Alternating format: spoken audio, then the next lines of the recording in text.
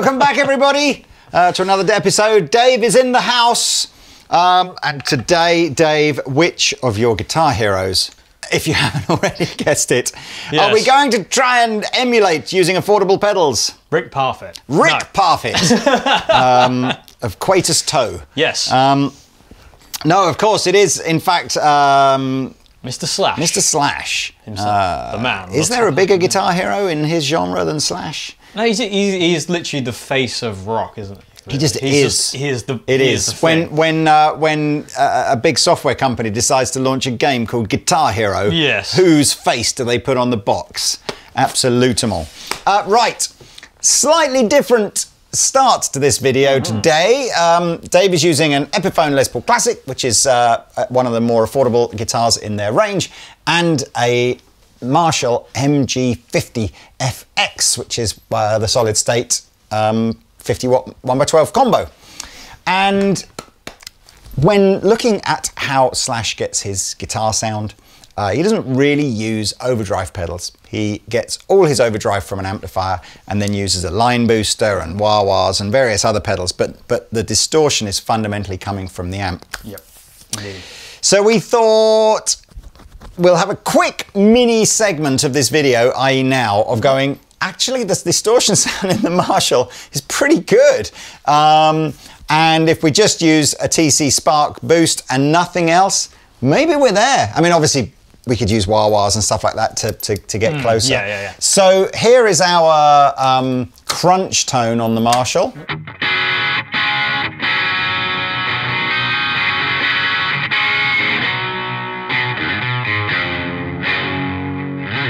And with the Spark,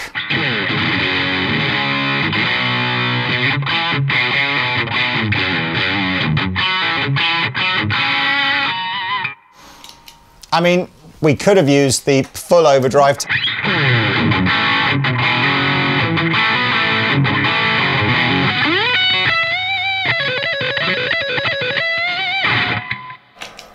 But uh, what we're going to do for the rest of this video is just use the clean sound on the amplifier because the kind of point of this whole series of videos is if you've just got a little solid state affordable amplifier with an okay clean tone uh, and you've got a guitar that is kind of roughly in the ballpark of what the artist would use, can we uh, grab a bunch of affordable pedals Indeed. and make a slash sound? Indeed. So, when did you become one of Slash's kind of uber fans? That was uh, very early on. I started playing guitar, and then literally, whew, crumbs.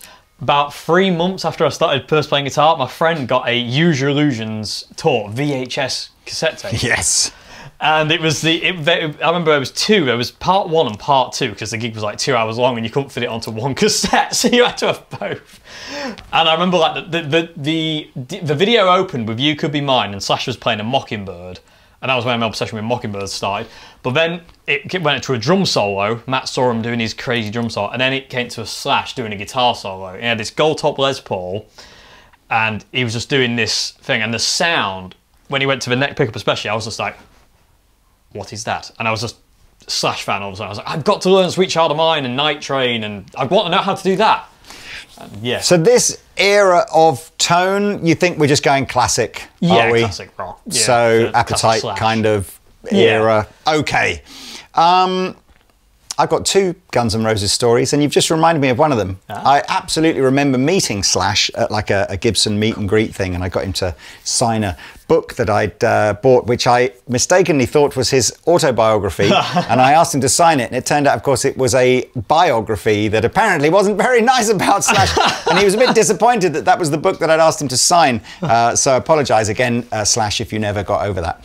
Uh, and my other story was um, I also stood next to Matt Sorum in a urinal once, just saying, Just you know, because yeah, why not? Good anyway, um, so if you look at Slash's pedal board, typically speaking, you're going to see a wah wah, usually his own Slash uh, signature wah wah by Dunlop, which of course uh, we can't afford in this particular shootout. So we've got some wah wahs. You see a cocked wah. It's an MXRQ pedal, I think. So just this idea that if you don't want to be literally going like this all the time, but you want that yeah, that wah-y thing. nasally thing. Now, the only pedal that I think Anderton sells that absolutely is that is the Electro-Harmonix Cockfight, uh, which is 109 pounds. So, in the interest of keeping this affordable, we have not got, but we've got these two pedals: a Mooer Funky Monkey and a Tone City Funny Boy. uh, the two sorts of things that maybe a parent might call a young child. Um, now these are both, I think, auto wahs, so we, there may be a lack of success here because a- an auto wah, strictly speaking, emulates the sweep based on how hard you hit the strings Indeed. of a wah, which we don't really want. But we'll see. It may or may not work. Then we have some boosters. We have um, because I think that the, the, custom audio boost that Slash uses has been a mainstay of his board for a long time. Yeah. Again, we can't afford that pedal, so we've got a TC Mini Spark and an Electro Harmonix line booster. Dave wanted some compressors, which I didn't see on Slash's board, but but I had an idea with them. he had an idea. He had an idea. Anybody watch CBeebies here? Anyone young children? Okay.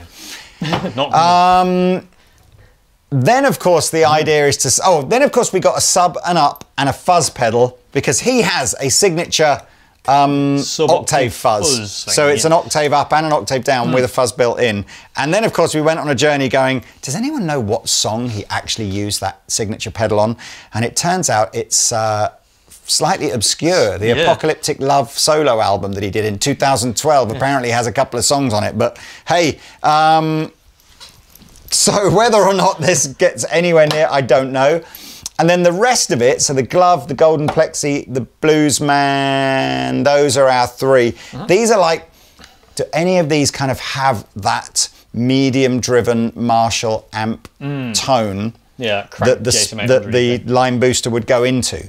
So I guess our starting place should be to choose which of these three gives us Yeah. our bass slashy tone. Mm-hmm. Oh, and we've got a chorus pedal and a delay pedal, but I've given up shooting these out Yes. as these two always seem to win. So we're just going to go fine. uh, this whole series will get boring as we begin to realize that there are specific pedals that always win. Yeah. So I'll do my best to try and freshen it up. Okay. Right, back in the room. Um, I've lined up our three potential amp pedals and our two potential line booster pedals um, to see if there's a combination that works or what. Uh, so we should have clean. Interestingly, in another video that you can go and watch if you want to, Pete and I did like a Marshall Plexi pedal shootout video. I know Slash isn't a Plexi guy, but it's that kind of vibe, uh, which you can go and watch if you click in the link up in the corner there. And the glove and the golden Plexi came out very highly in that video, if I remember rightly. So let's start uh, with the glove. It has a shift button that, if I'm honest with you, I can't remember what it does, so we'll have to find out. Probably an EQ thing, but That's not bad. Straight off the bat. straight off the bat. It's, it's uh, and then if I just keep playing, and we'll do.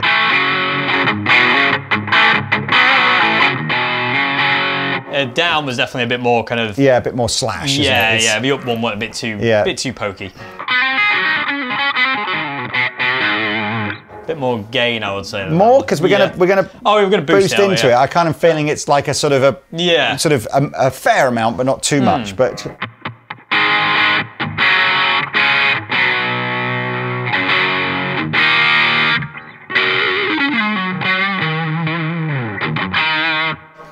is good. Nice. Okay, uh, golden plexi. Ooh, A lot more gain. Let's just and, Yeah. and a bit brighter as well. Let's Yeah. just.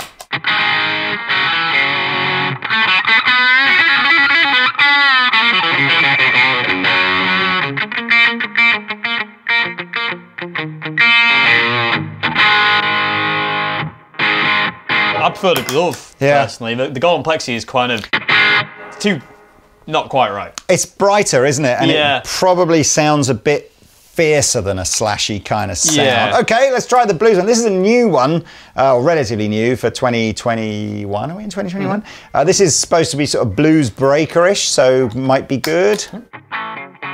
Oh, we got. They weren't kidding about being blues breaking. That's a bit too uh, Eric Clapton. It's too Eric Clapton, Yeah. isn't it?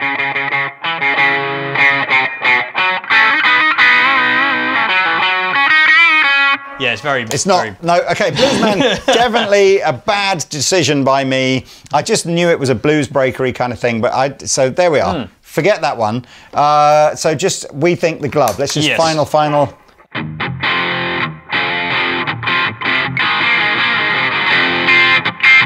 yeah, definitely the glove. Yeah. Golden plexi is Yeah. just a little bit too spiky. Good choice, but Yeah. that was like. It's always. It's, it almost Yeah. feels like we've rehearsed these videos when the first pedal with everything at 12 is nailed on. Yeah. But we haven't. No. Uh, right. So um, could be a bit of Electro-Harmonix love going on here. Mm. Um, but let's try uh, Spark into Glove. Yeah. There's an album name, if ever there That's, was that's, one. spinal, that's a new Spinal Tap one, isn't it? There.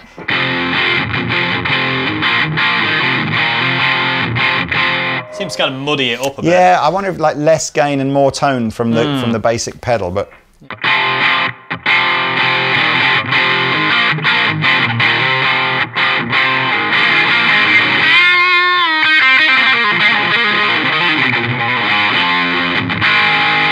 That's not too bad. it's not too bad. Yeah. I think we just got to find we've got to find the sweet spot. Let's try the line booster into the glove.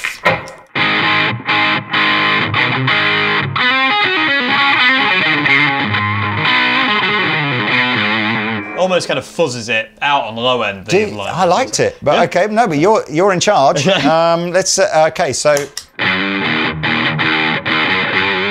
Uh, go back to the spark. Uh, one sec.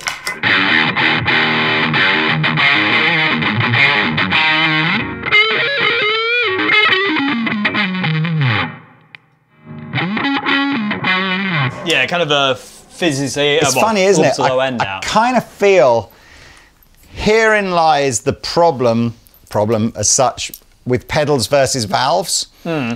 Valves like more into them. Yeah. And they never really they just clip and distort in a really pleasant way. Even like the more you load in, I still kind of think it's quite difficult to get like a bad valvey driven tone. Whereas I think solid state circuits and pedals and stuff like that, some just don't like loads of level into them. There's this sort of hmm. sense. So I'm kind of feeling like is it just me, or was the best sound we had actually on this here was just the glove on its own with a yeah. bit more gain? Yeah, I mean, I, I, I was going to say basically that on its own, just cr- crank up the gain a bit more. Sounds pretty good. All right. Well, let, us so okay. So this is this is going to be a very short pedal board. This one.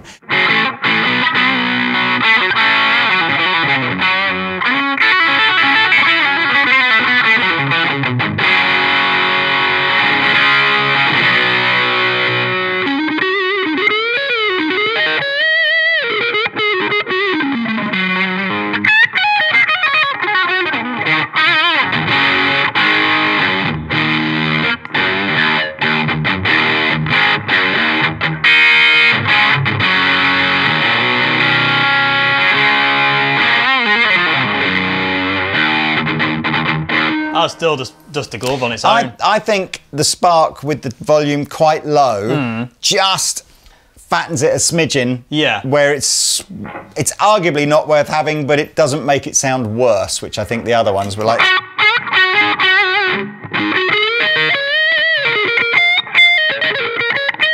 ah, yeah, so you mean. It just it, it just brings Just that up a bit, doesn't it? Yeah.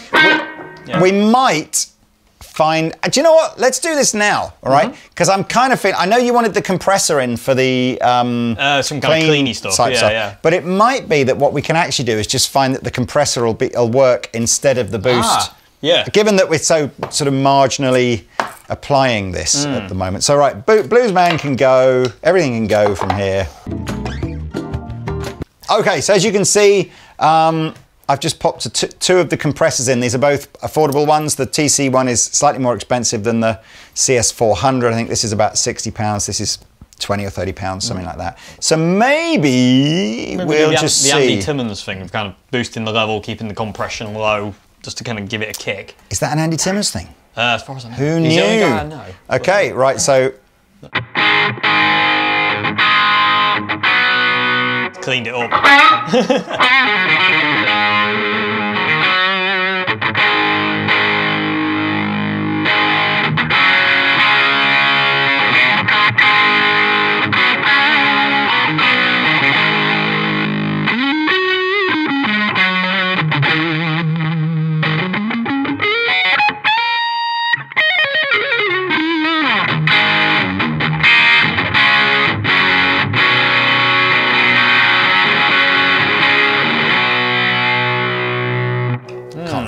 doing anything, to be No. honest with you, the compressors, the, the Behringer one. Oh, at really least like into the Spark. glove. Yeah, okay, so let's try the, let's just see what this does here.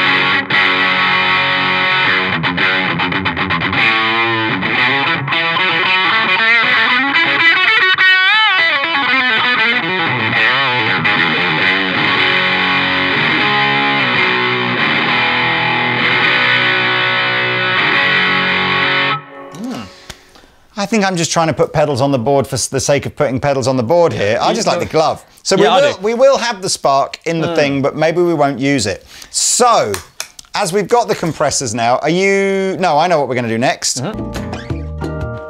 Okay, this might be a super fast section of the video here as to whether or not these actually do what we want it to do. If not, it'd be quite interesting. Um, Well, you know what? It might. It might. I like that.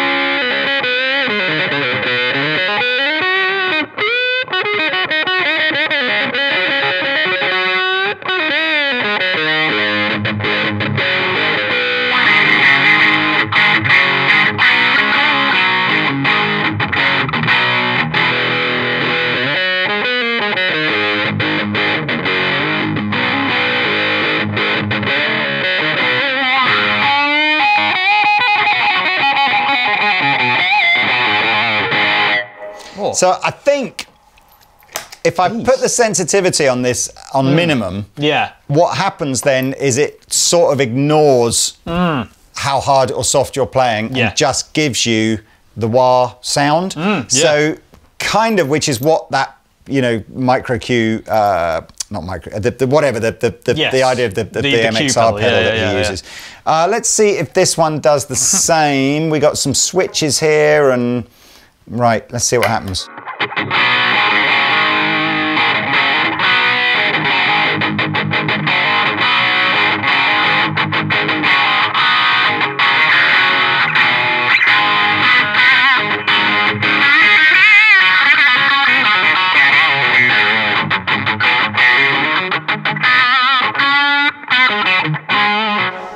So the Funky Monkey is a bit different. This is not um, working attack sensitive. No. This is literally just working like a chorus pedal would. So, Yeah. so you set how fast you would like. So Yeah. I don't know. I mean, maybe that's kind of cool as well. I put it hmm. on minimum to try and see if it would just sort of emulate not moving it at all. Yeah. But let's see.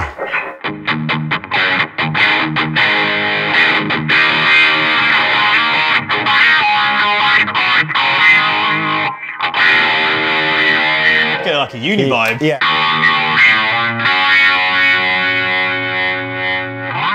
I don't think that's the vibe. No. Maybe this one is. I really like that. I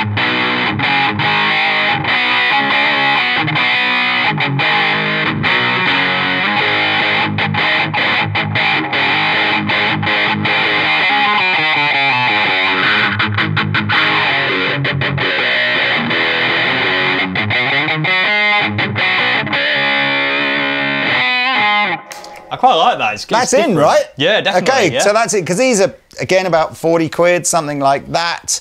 Um, now I believe it is probably. we know we've got the Uh, angel Yeah, wing and the flashback we're just going to dump in for your floorboard. We've still got this idea of does this do? Something, yeah. Yeah. Okay. So let's uh, let's just see. I'm, I'm slightly feeling a bit stupid here as well because, of course, if you go and buy these two pedals together, which is a fuzz pedal and an octave pedal, you're not far off of what it would just cost you to go and buy the slash Mm. Yeah, exactly. octave fuzz pedal. Yeah. So maybe this is a, a slightly ridiculous kind of thing. So here's great, the. Marshall tones. If you put fuzz over the top,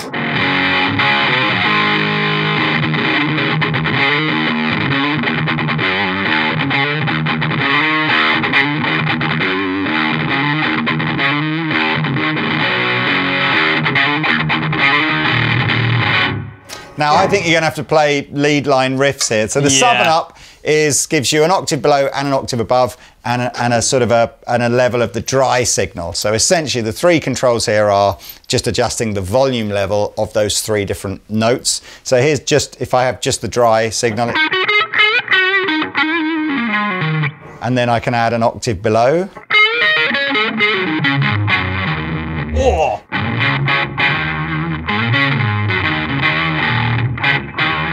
and then I can add an octave above.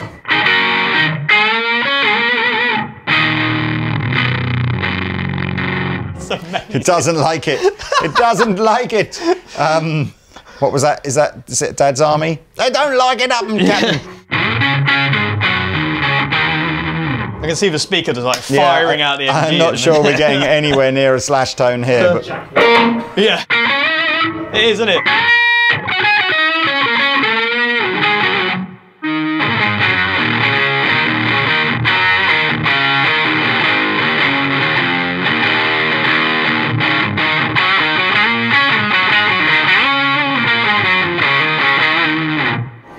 It's it's a fattener. it's a tone. I just Yeah. don't. I not just don't see it as slash. No. it's not. Look, there you go. It's definitely more Jack White. It is a bit So, more yeah, Jack it's White, isn't it? Yeah. Uh, that was a collaboration that uh, Yeah. never happened. Okay, right. We're moving to the floor and we're activating um, GoPro Cam now because I think I'm out of pedals to show you in terms of shootout. So we're just going to build the board.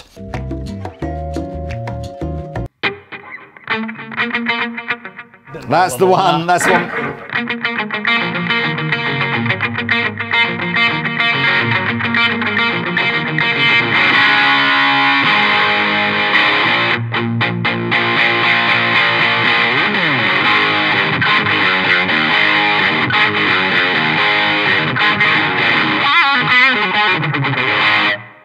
Does that? Okay, ladies and gentlemen, just to remind us, we've taken the most affordable uh, range of Marshall amplifiers in the MG50. We've got pr- not quite the most affordable, uh, it's the most affordable burst um, Les Paul that you can buy from Epiphone. You can actually go a little bit cheaper than that if you're just happy to have a solid colour one. And a range of pedals where I think at best we're up at about 60 or 70 quid per pedal, but most of those pedals I think are under 50 quid.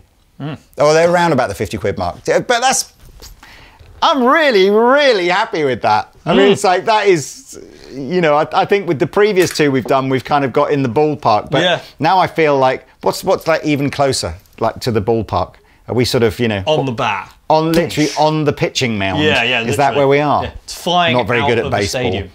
yeah. So, people in America chime in. So come on, let's, we got so we've got a clean tone where Dave's going to try and use the chorus and the compressor, uh, and that's probably it for our sort of you know Yep. Paradise City type thing, isn't it? But- Yeah, that's that.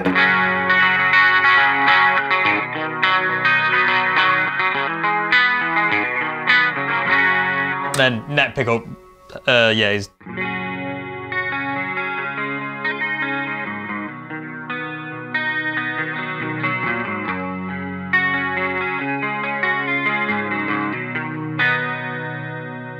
just a- Oh mate, it's nailed on. Uh, have we? so we haven't had any wah yet. So Nah. let's just do glove for. I mean, that is such a standout pedal for your basic kind of you know how to get a driven Marshall tone out of a relatively affordable amplifier. That is a winner. Uh, so what, give us a, a, a quick.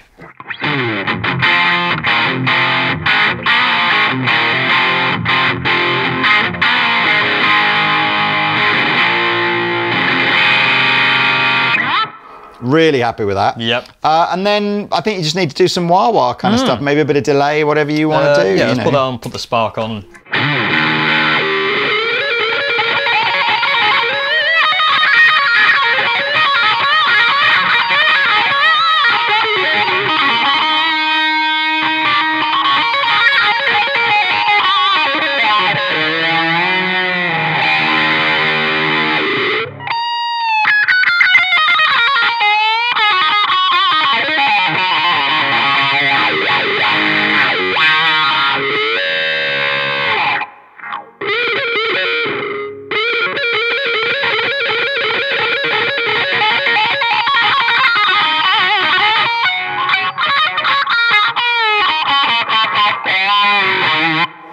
And then with the uh, Funny Boy instead of the wah wah, just for the same kind of vibe, you know.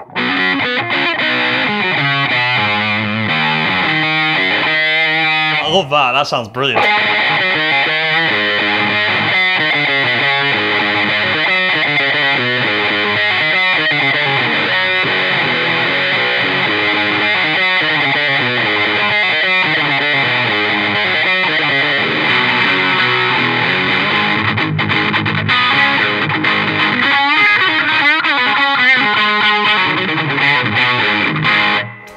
You know, the fun that very very first bit, of the Funny Boy thing, reminded me a bit like Money for Nothing. Yeah, it was it more does. that kind of. Yeah. Um, It's got that. Uh, what's what's? Uh,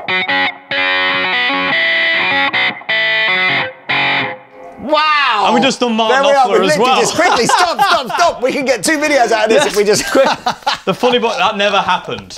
Anyway, well, well done, Dave. Uh, mission accomplished again. I think. Um, I think so. Oh, I. I, I hope you're enjoying this little mini series of videos that we're doing with Dave. I've uh, you know met Dave once before when we did a, an interview and got on well and, and really respect that Dave is really flying the flag for, for you know guitar players getting great Mm-hmm. tone without spending crazy amounts of money on gear and Mm. um, and you should go and watch Dave's channel anyway if you want to see more of that. But yes, he's going to come back every so often to Anderton's and do this challenge. So please, in the comment section below, again, different artists that you'd like to see Dave try and put a board together on, and we'll see what we can do over time. But um, yes, thank you very much for watching. Please like and subscribe, and uh, we shall see you next time. Bye bye.